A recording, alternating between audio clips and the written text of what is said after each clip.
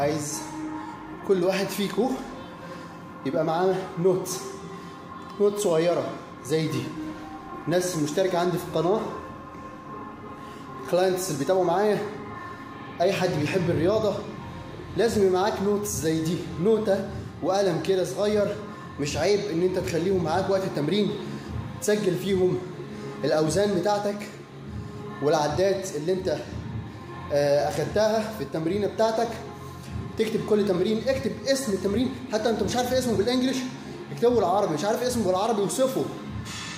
تمرين المرجحة بالدمبل تمرين الحلزونة اكتب أي حاجة أنت تفتكرها. تمام؟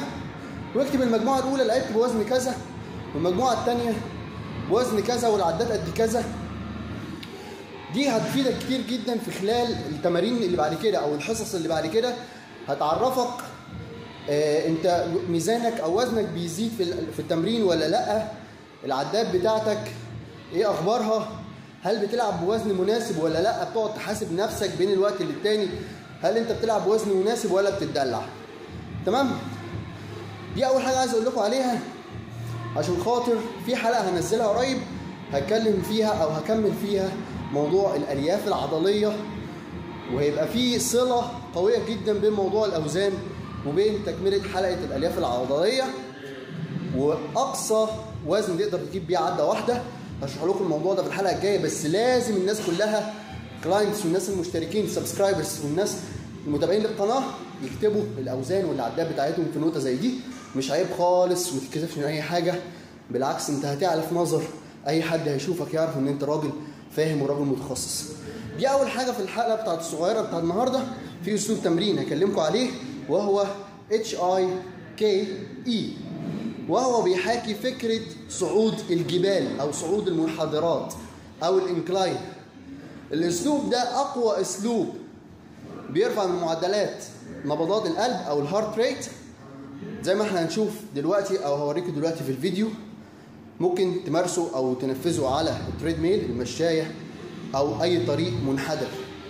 يعني زي الكوبري كده. تمام؟ فكرته إن أنت بتزود الأوزان على جسمك لو تقدر. زي ما أنتوا هتشوفوا دلوقتي هتلاقوني شايل شنطة تمام؟ الشنطة دي هحط فيها وزن طارة على حسب بقى ربنا سبحانه وتعالى ما يقدرني. 5 كيلو 10 كيلو على حسب ما أقدر اشيل تمام؟ الفكرة إن أنت بتزود الوزن بس مش مهم يبقى كتير تمام؟ وفي أنا عندي آه، وزن كده بيتربط في الرجل من تحت هتشوفوه برضه في الفيديو 1 كيلو تمام؟ وهنرفع ال incline آه، لأقصى درجة ممكن إن إحنا نرفعها عليه في ال treadmill. وزي ما قلت التمرين ده تمرين cardio ومفيد جدا. أقصى تمرين ممكن يأثر أو يرفع من معدل نبضات القلب. لذلك أنت ما بتحتاجش إن أنت تمشيها أو تعلي السرعة بتاعتك وأنت ماشي على ال treadmill. هو يكفيك بس إن أنت تطلع المنحدر وشايل وزن زيادة على جسمك. تعالوا نشوف مع بعض. هي دي فكرة الوزن اللي بتحطه في رجليك من تحت. زي ما إحنا شايفين كده. تمام؟ طبعا الوزن ده فكرته إن أنت بتصعب المقاومة بتاعت الحركة بتاعتك فبالتالي بيبقى في حرق أعلى في السعرات الحرارية في وقت أقل. وطبعا إحنا بنقول إن إحنا بنحاكي فكرة صعود المنحدرات أو الإنكلاين أو الجبال. ف زي ما الصورة اللي أنا حطيتها قدامكم هي الفكرة كلها إن أنت بيبقى وزن جسمك عكس الجاذبية وأنت طالع فكل ما كان أتقل كل ما كانت المقاومة أعلى وبالتالي تأثير التمرين أقوى. تمام؟ تعالوا نشوف مع بعض.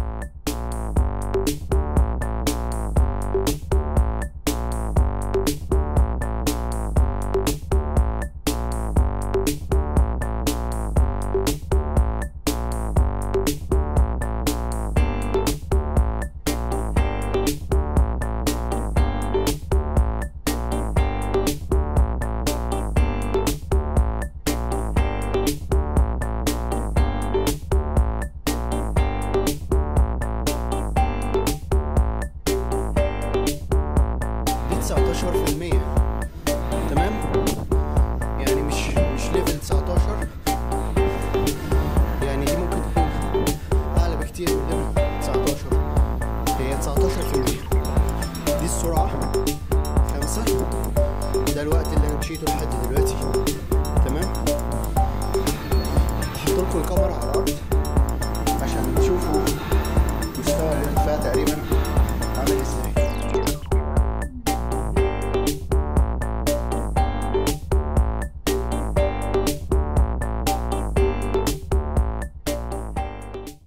عايز أقول لكم إن أنا عليت مستوى اقصى حاجة كده اللي هو 20%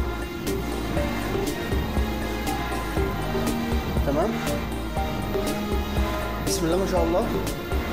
الهارت ريت أو معدل نبضات القلب عندي على الفيد بيت بتاعتي. باين. 153 152 تمام؟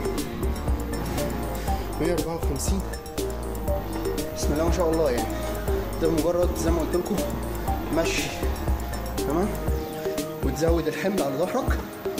وفي رجليك جربوها؟ وإن شاء الله هتلاقوا فيها فايدة كبيرة جدا. مستنيين في حلقات تانية قريب. السلام عليكم لمزيد من الحلقات وبرامج التدريب والتغذية المجانية وللإجابة على كل استفساراتك الرياضية ما تنساش تتابعني على الفيسبوك وسناب شات وانستجرام تليجرام وما تنساش تشترك في قناتي على اليوتيوب. كل ده ممكن توصل له بسهولة لو بحثت عن Fit For Arabs وبرضه ادخل على fitforarabs.com هتلاقي عالم الرياضة بين إيدك. حتى لو كتبت في جوجل Fit For Arabs هتوصل لي يعني هتوصل لي. وساعتها هتبدأ مهمتي في مساعدتك لتحقيق حلمك.